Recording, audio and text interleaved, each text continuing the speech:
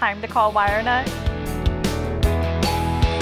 Call the experts in home repair, the WireNut plumbing